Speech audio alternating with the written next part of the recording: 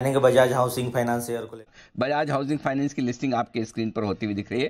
तो ये है दमदार लिस्टिंग आपके लिए बजाज हाउसिंग फाइनेंस की उम्मीद के मुताबिक डबल होता हुआ लिस्टिंग पर। और अब जिन लोगों को अलॉटमेंट लगाए लॉन्ग टर्म के लिए जो रखना चाहते हैं, बजाज पर भरोसा है, उनकी तो बात अपनी अलग ही है। जो शॉर्ट टर्म इन्वेस्टर्स हैं 125 का स्टॉप लॉस रखिए, अपने गेंस को प्रोटेक्ट करने के लिए। ये है आज दमदार लिस्टिंग बजाज हाउसिंग फाइनेंस की। हैव फन एंजॉय एंजॉय और लिस्टिंग के बाद और ऊपर जाते हुए दिख रहा है 160 पर अभी। काउंटर आपको जाते हुए दिख रहा है तो fresh बाद भी लगातार खरीदारी होती हुई दिख रही है। ये तो आज सबको लग रहा है डबल हो रहा है डबल हो रहा है। तो जिस दिन इशू आया था उसी दिन मैंने कहा था कि ये इशू लिस्टिंग पे ही डबल हो जाएगा। आप ले लीजिए जिन्हें मिला उनको बहुत बहुत दिल से बधाइयाँ नहीं मिला hard luck better luck next time कोई बात नहीं। वो क्या करें? हाँ।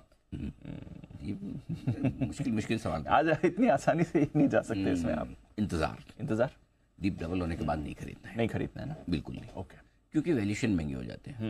हैं इससे बेहतर है फिर आप थोड़ी इस स्पेस नो डाउट बजाज में कोई खराबी नहीं दूर दूर तक मैं ढूंढ ढूंढ मतलब ढूँढने जाओगे तो भी नहीं पाओगे क्योंकि प्रमोटर बहुत अच्छे हैं ग्रोथ कमाल की है वैल्यूशन उन्होंने ठीक रखे हैं आगे भी बहुत बढ़िया काम करेगी। ट्रैक रिकॉर्ड देखिए बजाज फाइनेंस सेंसर का संजीव बजाज साहब का सब कुछ बढ़िया कोई दिक्कत लेकिन प्राइसिंग भी कोई चीज़ है। ये महँगा था महँगा है महँगा रहेगा इसमें कोई डाउट नहीं। अगर कोई अच्छे लेवल पे इशू के बाद अब प्रॉब्लम क्या है दीप? किसी को इतने अलॉटमेंट मिले भी नहीं कि वो आके बेच जाए। हाँ। अगर कोई इस स्टॉक को बेचेगा फंड तो एक ही वजह से बेचेगा कि मेरे पास सफिशिएंट क्वांटिटी नहीं है ऐसे में मैं इतना सा शेयर रख के क्या करूँ? और डबल हो रहा तो बेच दूँ। तो ही बिकवाली आने वाले। रिटेल तो बेचने वाला है नहीं क्योंकि उनको तो अगर लिस्टिंग पे डबल हो जाता तो उनसे वैसे ही उनको और फिर बजाज का नाम है तो वो सोचते हैं पाँच दस साल के लिए रखना है हमें। सो आई थिंक सप्लाई भी लिमिटेड होगी लेकिन खरीदारी भी लिमिटेड होगी लिस्टिंग के बाद। सो देखते हैं लिस्टिंग के बाद इंतज़ार करें। जो लोग लॉन्ग टर्म इन्वेस्टर्स से रख लीजिए। जो लोग शॉर्ट टर्म इन्वेस्टर्स है 125 का स्टॉप लॉस रखिए ताकि आपका प्रॉफिट प्रोटेक्ट हो जाए। ठीक है?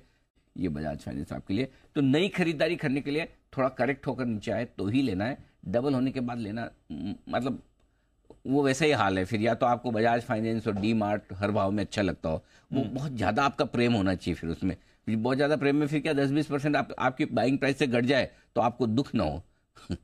है ना वैसे ही? कि भाई अगर मुझे दीप से बहुत ज़्यादा प्रेम है तो दीप ने दो सवाल खराब भी कर लिए तो कोई बात नहीं दीप तो मेरा ही है कोई वैसा प्रेम होना चाहिए। हाँ, वैसा प्रेम होना चाहिए तो वो फिर आपका प्रेम है कि दस बीस परसेंट घट जाए तो कोई बजाज से मेरा प्रेम है। तो फिर अलग बात है। अदरवाइज़ डबल होने के बाद थोड़ा खरीदने में मज़ा कम है। पैसा मुश्किल से बनेगा।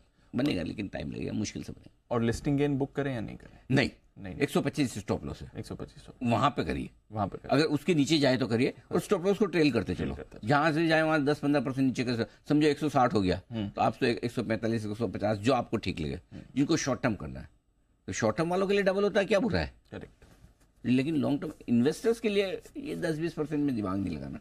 ऑल राइट चलिए ये है आपके लिए बजाज हाउसिंग फाइनेंस पर अनिल जी की सलाह।